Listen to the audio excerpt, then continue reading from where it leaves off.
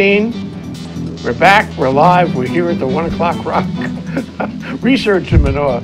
We like to find out what's going on in Manoa. We like to talk to people in SOEST, that's the School of Ocean and Earth Science and Technology, and HIGP, the Hawaii Institute of Geophysics and Planetology, and CMOR, the Center for Microbial Oceanography Research and Education.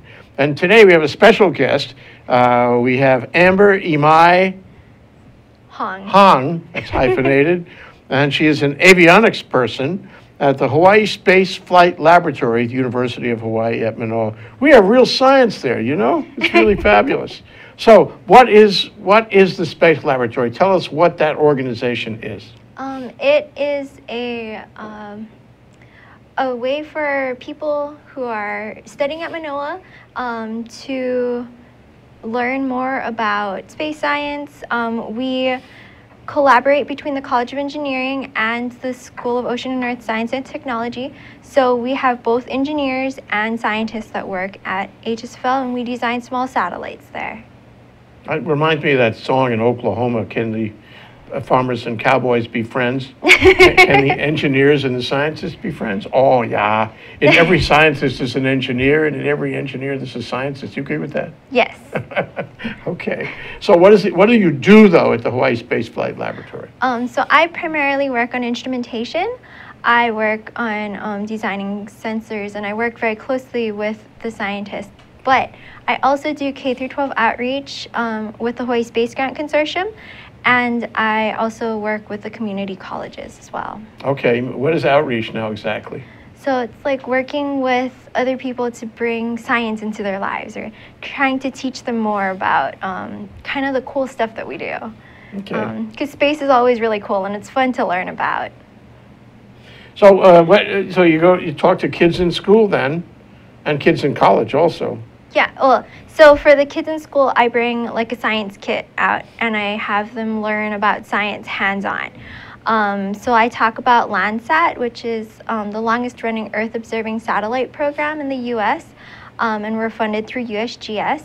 Um, I go and I teach them about light and heat and what all of that has to do with satellites and how they can learn more about the Earth that we live in um, through satellite technology. And we can learn about um, kind of just some of the things that um, we can do that's really cool, both planetary and just learning about our own home planet.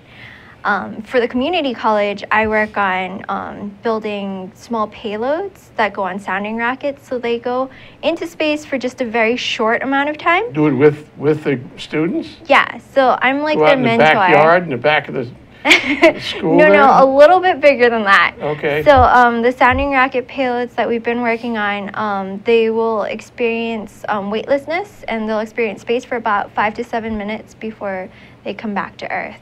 Um, so I worked with Project Imua um, for two years um, with Windward, Kapiolani, Honolulu, and Kauai community colleges. Um, and we got to launch our payloads um, last August and this August um, from Wallops Flight Facility, Where is that? Virginia. Oh, really? Oh, they go there? Yeah, so Oh, we wow. flew a group of students over, and one of the pictures they sent over was um, us with the rocket. And um, last year's experiment did very well. We were happy with the results. Um, this year's rocket, however, we weren't able to recover it, so it's sitting somewhere deep in the uh, in the Atlantic. Oh, that's too bad. Yeah, And you have to get another one. Yeah. yeah. So they're currently working on year three of that project. Yeah. So what, what, what kind of, how big is the rocket? What kind of rocket is this? Is Um, expensive rocket? All rockets are expensive. Yeah. Yes, all rockets are very expensive. Um, it was a NASA experimental rocket. Like this? Yes, that one. Okay. Um, so that's us in front of it. It's a Terrier rocket. Um, it's relatively small compared to what we've been working on, um, but we had a lot of fun. And this this was supposed to experience um, space for about five to seven minutes before it came back down. Um, because it was experimental, NASA didn't charge us as much, but also there's an increase for the amount of failure that could happen. So that's uh, they had been very lucky. The RockSat program had been very lucky up until that point. Um, they hadn't lost a single Not too rocket. bad. But for sounding rockets, um, about a 80 to 90 percent success rate is very high. Yeah. Um, and we had a 100 percent success rate up until this August. So um, Oh, too bad. it was unfortunate, but we're hoping that this year's rocket will. So where, where, uh, who owns these rockets?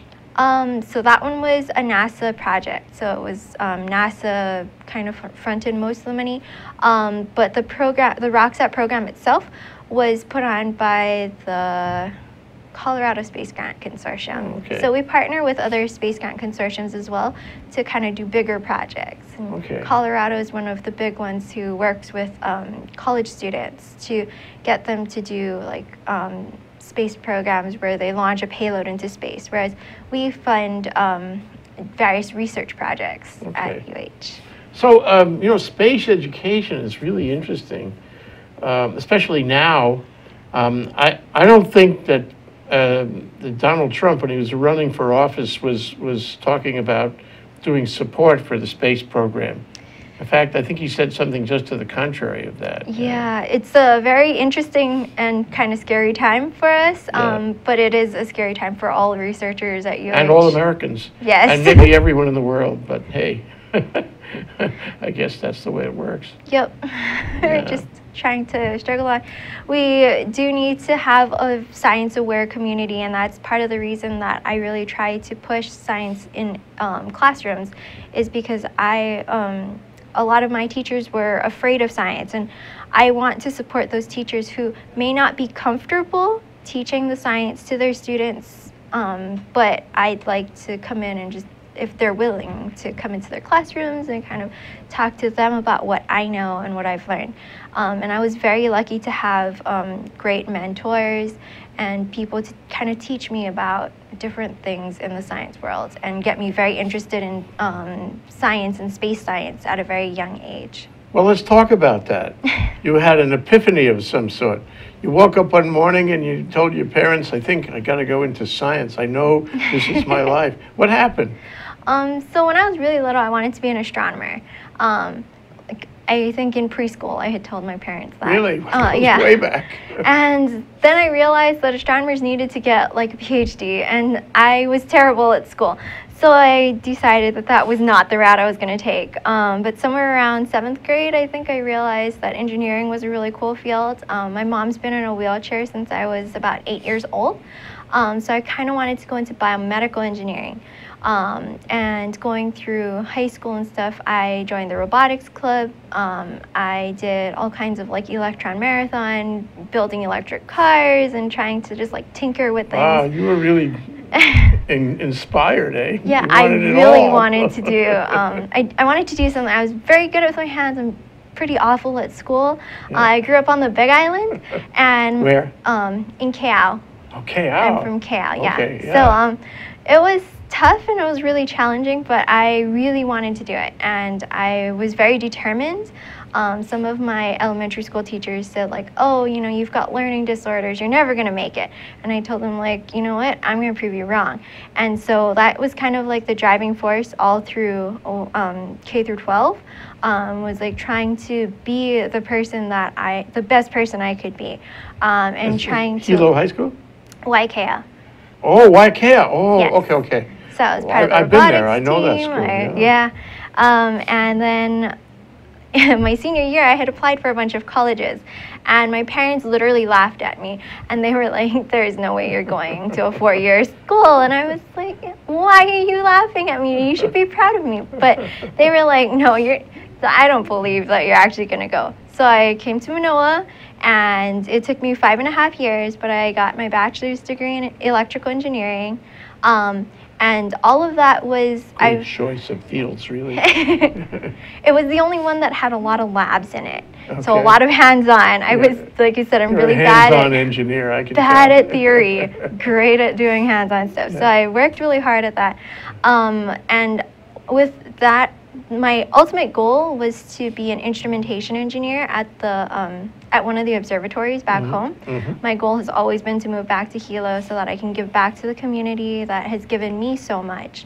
Um, and it was really challenging to find like um, internships and stuff that were very hands-on but every summer I made sure that I interned somewhere new so that I got a feel for the different fields.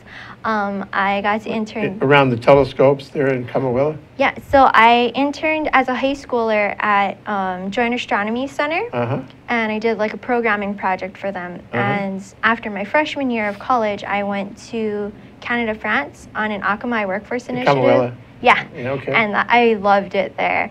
Um, and then they said, well, you know, you need to get better at circuit design, you need to get better at programming. And I had already been part of um, UH's satellite program, um, or small sat program with Dr. Wayne Shiroma for, at that point, about a year. I gotten involved in it on like day three of college. So uh, it was a lot were of all fun. in. I was. I was a very, I'm a very project-based learner. Okay. So um, I um, got involved with this project. I did small sats for about three and a half years um, with Dr. Shiroma. I participated in the NanoSat 6 program. Um, I got to intern downtown here um, at an optical engineering firm, Which one? um, Novasol. ah, sure. and- Novasol in Bishop Square. Yeah? Yes. Okay. Um, and then I did a few outreach programs where I helped um, create kits for teachers that they could borrow and use in their classrooms. Um, and even my last summer, um, before right before I graduated, I worked. I started working for HSFL, um, and I had already been working with um, Hawaii Space Grant Consortium um, since my freshman year as a student assistant for Art and Reen Kimura, who are um, who are the people who started robotics in Hawaii.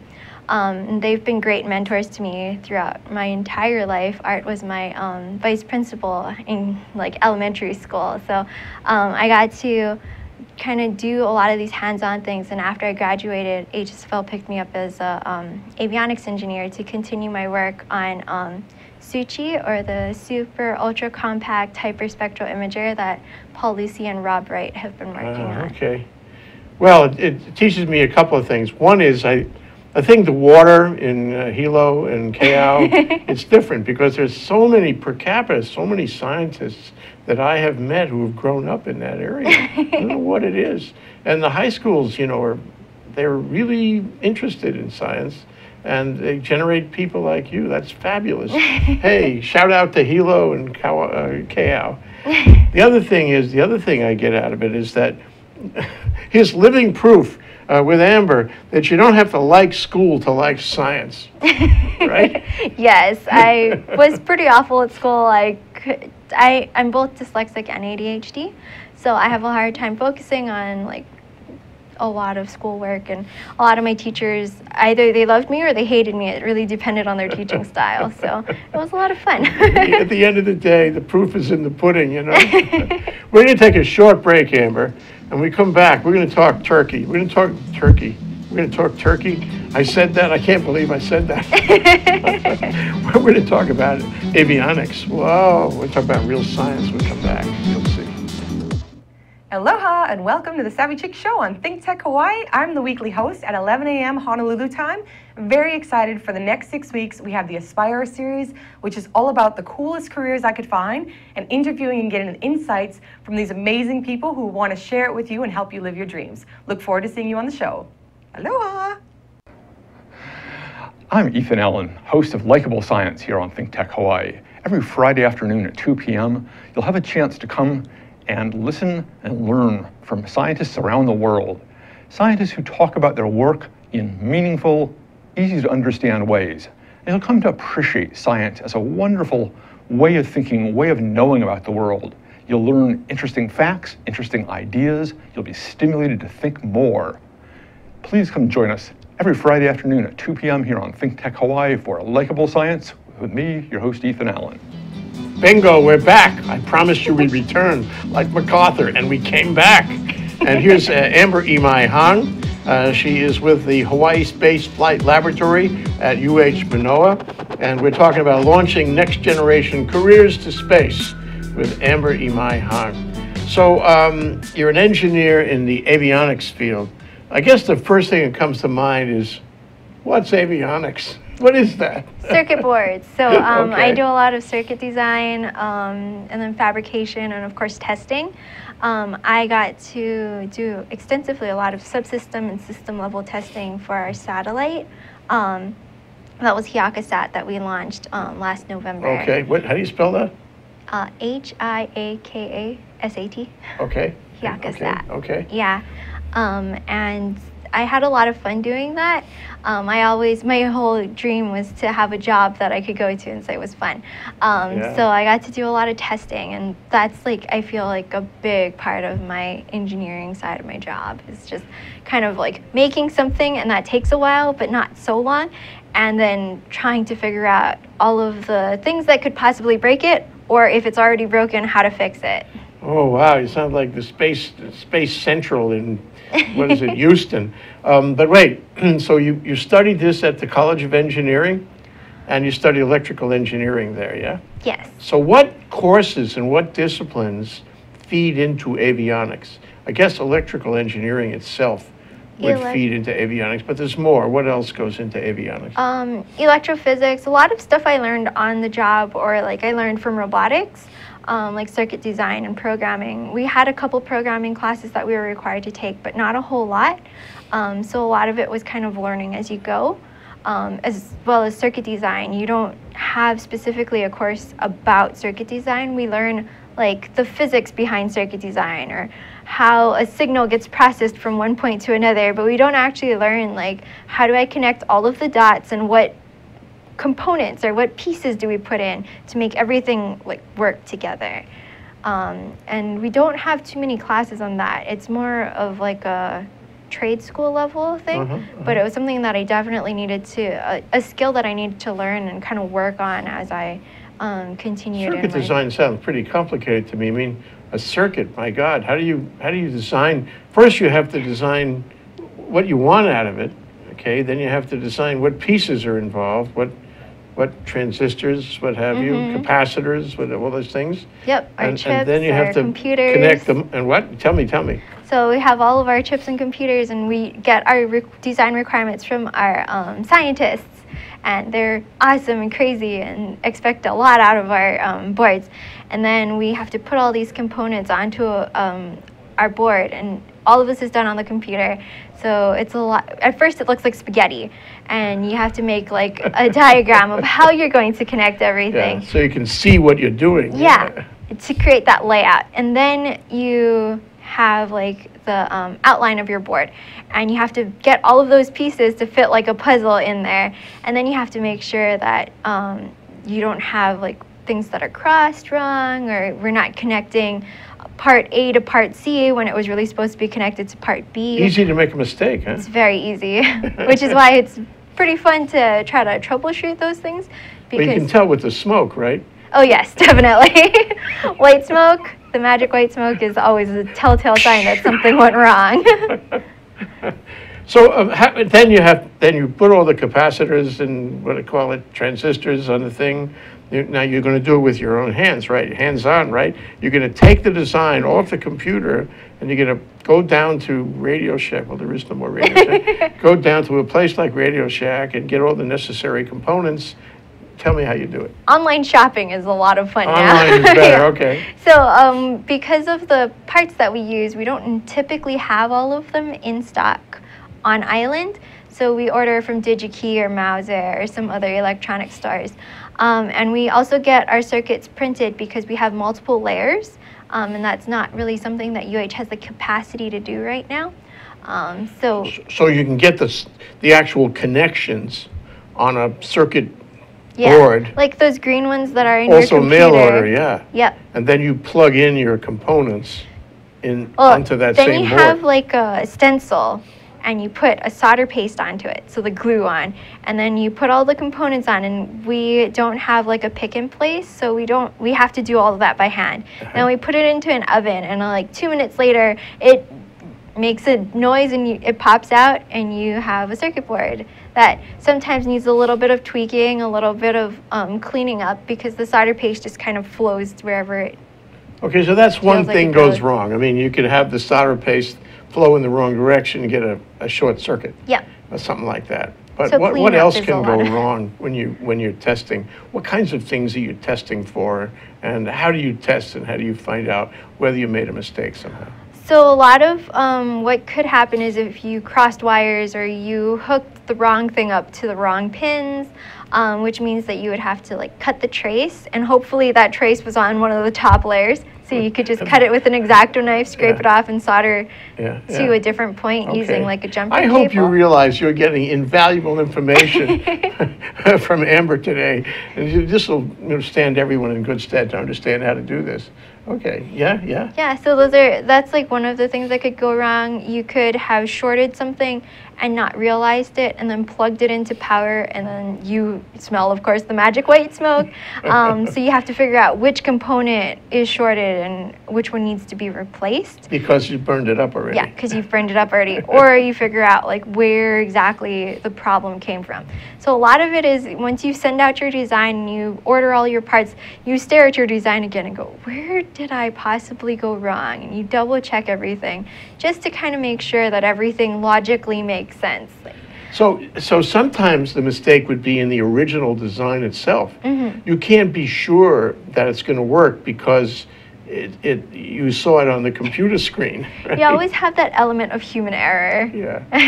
So you can make an error in the original design, or you can make an error in actually connecting the, the, uh, the components up to the right pins on the circuit board. yeah. Uh, I'm just another question is you get these components and certain the the connecting boards call them uh, on the mail order, but they're not expensive, are they? You don't have to pay a lot of money for this because it's this is the 21st century, right? Well, some of the, uh, it depends how many layers your board is. So, um, a four or six layer board costs maybe like 20 or 40 to 60 dollars. Um, With all the pieces. with all, uh, that was just one board, just it printed. For the components, one component, one tiny little chip that's a, like a computer chip, could cost $120. Ooh, Um, so, starts running into money now. yeah. Yeah. it depends how complicated your board is. We're trying to move into FPGAs What's that? um, which is like a more um, powerful computer chip. Um, and a lot of phones are using them now. A lot of um, like higher end computers are using them. We're trying to, uh, space technology is always about 10 years behind. So we're trying to bring that space technology a little more into the future. So uh, now you, avionics, though you said avionics was creating circuit boards, but circuit boards for aviation, for space flight? Typically more for, um, what we do is small satellites. So it's all the circuit boards for the small satellite um, design. So we've got a computer. Um, we normally order our communication systems because those are a little, um, we want to make sure our radios work. So our computer can screw up, our, um, like our instrument can be a little weird, but we need to make sure our power and our communications are flawless. So we make sure we order those two pieces. We've been kind of trying like different ideas. Um, some people in the military that we've been talking with have said that they do software defined radios. So we're kind of thinking about doing going what's, that what's a software-defined radio? It's using that FPGA, like I was Ah, telling you. very- so very you can advanced then. Yes. New technologies. Yeah. Yes, the national labs are doing amazing work with this technology. So um, we are thinking about incorporating it into some of our next designs, but um, for right now, we have been ordering some some of our parts and making just like our solar panel boards or um, like instruments. So what I do is I work with scientists and they give me their requirements of like this is what I want um, this camera to do, but it doesn't do all of those functions yet. So how, uh, I need you to make the controller that will do the calibration system for my camera and stuff. And so I, I get to do pretty that. complicated. It's a lot of fun. Let's talk about that as a case study for a minute. So I have a camera. The camera is on the satellite taking pictures, and you're going to control what the the lens uh, aperture and the speed and the focus and what have you. Um, maybe the direction of the camera with a circuit board. Is that the idea? Well, fortunately for us, most of the cameras that we purchase have all of that controls um, kind of built in. So we just need to interface with them. Okay. So it's just um, kind of creating a board to interface their their board to our computer system, for example. Um, with Suchi, um, which is Such- what's the- that yeah. was the ultra compact hyperspectral imager um, that I worked with um, with Paul Lucey and Rob Wright on. Um, also, I worked with Sarah Kreitz, who now works for JAXA in Japan. Um, but um, that one we needed to build um, the calibration system. So it's a hyperspectral imager, so we needed to take images both before and after their, their lens stack to kind of show like any deflection so that we could calibrate the images that were taken. Um, so we had a lens, or yeah, like a lens cover that um, we would heat up using Kapton heaters. So we got to play with um, this really expensive thermal paste. So it's basically like epoxy, just a thermally Thermal conductive- paste. Yep. Yeah. And we got to figure out how to not get that thermal paste into the very thin shutters. and that was a big challenge, but it was a lot of fun. You'll learn um, that here on, on Think Tech about thermal paste. We learned a lot from you. You know, when you started talking about your experience in the schools, I said, she's really focusing on the schools, and it's challenging and it's valuable, but, you know, that's more important than avionics. Now I feel differently. Now you, now you work in avionics, really. You know, you're amazing, Amber. I'm a juggler. I, guess to so. juggle everything. Do anything and everything. Amber, Amber uh, Imai Hong, engineer at the Hawaii Space Flight Laboratory, University of Hawaii at Manoa. You have dazzled us. Thank you so much for coming down. Thank you for having me. It's been a pleasure. Aloha. Thank you.